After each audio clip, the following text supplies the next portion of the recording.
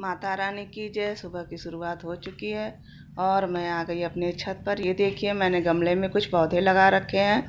कितना सुंदर सुंदर फूल खिले हुए हैं। ये कनेर का फूल है और वो गुड़हल का है।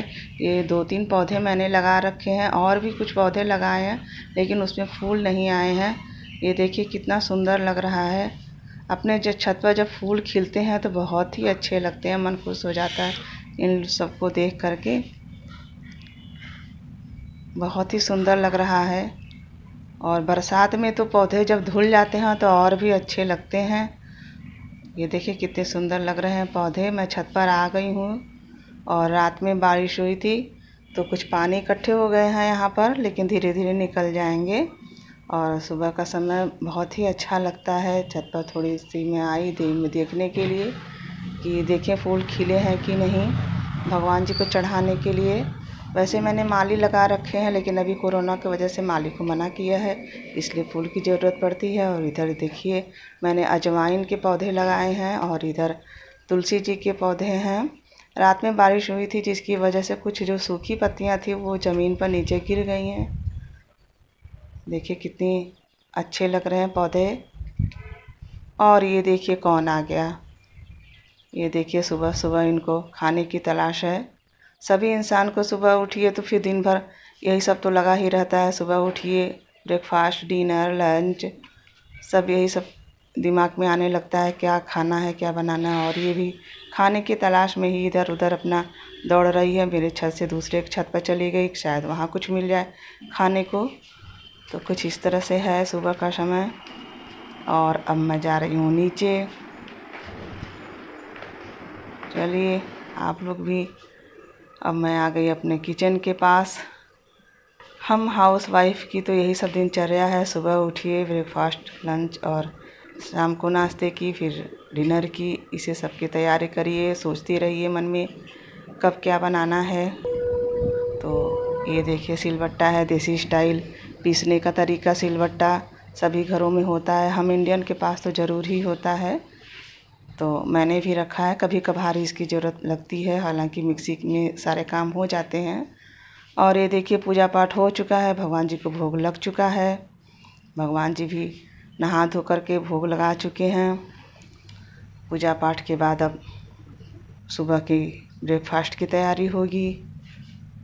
भगवान जी लोग जब नहा धो लिए हैं, बैठे हैं, कितने अच्छे लग रहे हैं। और ये जो फूल छत पर खिले हुए हैं उन्हीं फूलों को मैंने भगवान जी को समर्पित किया है।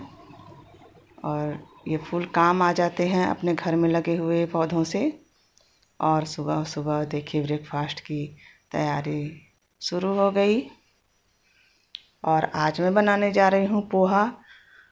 पोहा की रेसिपी तो मैंने शेयर की है पिछली वीडियो में, लेकिन मुझे लगा चलिए आज फिर से आप लोगों को दिखा देती हूँ। तो ये मैं बना रही हूँ पोहा पोहा सुबह के ब्रेकफास्ट के लिए। बहुत ही अच्छा नाश्ता होता है और ये जल्दी से बन भी जाता है और पेट भी भरा भरा रहता है। तो मैंने डाल दिए आलू। आलू को मैंने कच्चे ही आलू को छोटे छोटे पीसेस में काट करके डाले हुए हैं। और वैसे तो मैं बॉयल्ड आलू डालती हूँ, लेकिन आज मैंने कच्चे आलू को ही डाला है छोटे छोटे पीस में काट करके। और ये डाल दिया हल्दी, नमक और इसको चला दूँगी अच्छे से। ताकि अच्छे से तरीके से मिक्स हो जाए।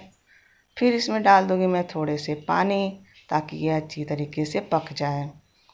और इसको अच्छी तरीके से चलाने के बाद फिर इसका उसको ढक कर के रख दूँगी ताकि और ये अच्छी तरीके से पक जाए। दो मिनट के लिए ही रखूँगी, ज़्यादा नहीं रखूँगी। दो मिनट में तो आलू छोटे छोटे कटे हुए हैं तो वो पक जाएँगे। और ये देखिए ये इंडक्शन पर, ये जो मेरी कढ़ाई है, ये इंडक्शन पर भी चलती है और गैस पर भी चलती है। तो अभी मैंने इंडक्शन का यूज़ किया और ये पानी सूख गया है थोड़े थोड़े पानी बचे हैं तो मैंने थोड़े से इसमें चीनी डाले हुए हैं। बिल्कुल थोड़े से। और इसको मैं तीस सेकेंड के लिए ही ढक कर के रखूँगी, ताकि जो चीनी है वो मेल्ट हो जाए। और उसके बाद फिर मैं पोहा डालूँगी इसमें। पोहा को मैंने पहले ही धो करके रखा हुआ था। और अब मैं इसमें थोड़े से लेमन जूस डाल दूँगी। लेमन जूस डालने से थोड़ा खट्टापन आ जाता है, खाने में बहुत ही अच्छा लगता है पोहा। और इसको मिला दूँगी। अब इसमें मैं डाल दूँगी पीनट। इसको मैंने पहले से ही तल करके रखा हुआ है।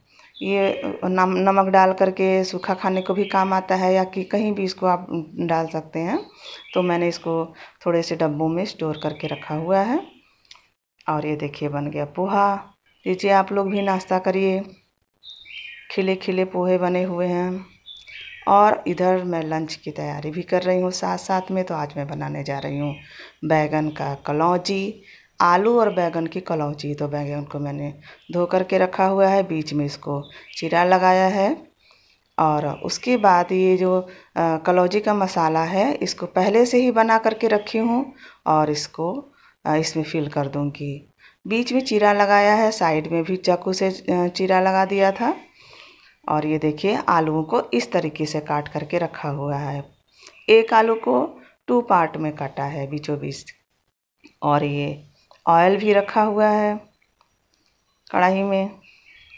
अब मैं बैगन में मसालों को फिल करूँगी। बैगन को मैंने अच्छी तरह से देख लिया है, अंदर कीड़े नहीं हैं अच्छा बैगन है। तो अब इसमें फिलिंग स्टार्ट हो गई। और इस तरीके से सारे वैगन में मसालों को फिल कर लूँगी। ये कलौजी का मसाला पहले से ही बना करके रखा हुआ है। जब बनाने की ज़रूरत होती है कलौजी हमें, किसी भी चीज़ की कलौजी जब बनानी होती है तो इसमें फिल करके बना लेती हूँ।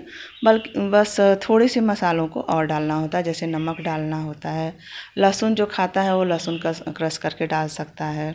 अमचूर डालती हूँ और चिली फ्लेक्स डालती हूँ। ये तीन चार चीज़ों को और ऐड करती हूँ। बाकी तो वो मसालों को, सूखे मसालों को पहले से ही मिक्सी में पीस करके रखा हुआ है। और ये देखिए, मसालों को इस तरीके से फिल कर दिया है। और इधर ऑयल को भी गर्म करने के लिए रख दिया है। ये ऑयल मस्टर्ड ऑयल है। हम लोग ज़्यादातर मस्टर्ड ऑयल का ही यूज़ करते हैं। और इस तरीके से सारे बैगन को मैंने कढ़ाई में रख दिया। और फ्लेम को लो मीडियम ही रखा हुआ है। क्योंकि शुरू शुरू में तो लो मीडियम ही रखना है। नहीं तो बैगन जल जाएँगे। इसलिए शुरू शुरू में लो, मीडियम ही रखना है। इस तरीके से सारे आलूओं को रख दिया है। आलूओं को ऊपर ऊपर रख करके सेट कर दिया है। और इस तरीके से अब कलौजी का मसाला ऊपर से मैं छिड़क दूँगी सारे आलूओं पर। ये पकने के बाद अपने आप मिक्स हो जाते हैं। आलूओं के ऊपर अच्छी कोटिंग हो जाती है। क्योंकि जो बैगन के अंदर मैंने फिल किए हुए मसाले, वो पकने के बाद थोड़े से तो बाहर आ ही जाते हैं। और अलग से भी मैंने ये जो मसालों को छिड़का है, ये मसाले भी मिल जाते हैं। तो सारे मिल करके बहुत अच्छा फ्लेवर आता है और मसाले जो हैं, सारे सब्जियों में अच्छे से मिल जाता है। ये देखिए, पककर तैयार हो गया है। और ये खाना, देसी खाना तैयार है लंच तैयार है। आप लोग भी खाइए और बताइए कैसा बना हुआ है। ये रायता भी मैंने बनाया है। घर तक का कुछ इस तरह का रूटीन था, एकदम सिंपल सा भोजन था, जो मैंने आप लोगों के साथ शेयर किया है। तो आप लोग बताइएगा कैसा लगा आप लोगों को मेरा ये ब्लॉग और आप लोग की तरफ़ में क्या हाल है, ज़रूर से बताइएगा। और अगले वीडियो में मिलते हैं, तब तक के लिए बाय बाय